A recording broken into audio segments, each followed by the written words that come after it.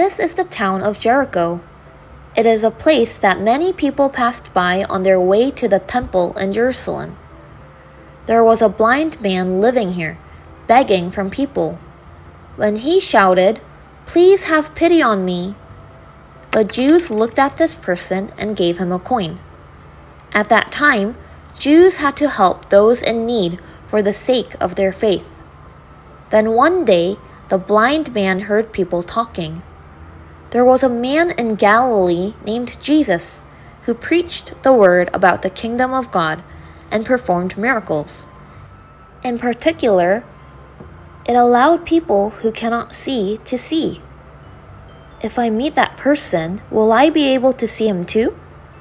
No, how can I go find that person since I can't even see him?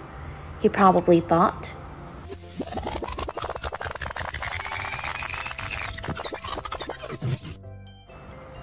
A few days later, the blind man heard that Jesus, whom he had only heard about through rumors, was passing by the road where he was sitting now. Was this a dream? The blind man shouted as loudly as he could Jesus, Son of David, please have pity on me. People got angry at the blind man for making noise. But the blind man felt like he would never have this opportunity again in his life.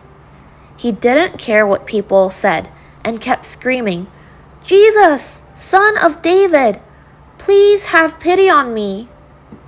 And then the blind man heard a sound. Bring him in. It was the voice of Jesus.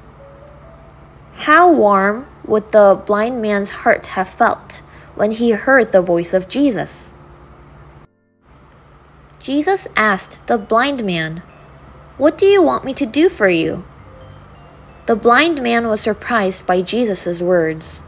When he asked someone to take pity on himself, people just gave him a coin. But now he met someone who was willing to do something for him. Should I ask for wealth that will allow me to live without begging for the rest of my life? Or should I ask him to put me in a high position? The blind man thought and decided to tell him what he really needed. Those are the words he had hoped for even in his dreams. Lord, I want to see. Jesus answered, Your faith has saved you. When the blind man began to see, a new world that had never been seen before unfolded before his eyes. If we look at the Bible, it says that after this, this person began to follow Jesus. Most HiBible friends can probably see well. But are we really looking at this world and the Word of God properly? Today, we would like you to pray like the people in the Word. Please have pity on me, Jesus. I want to see.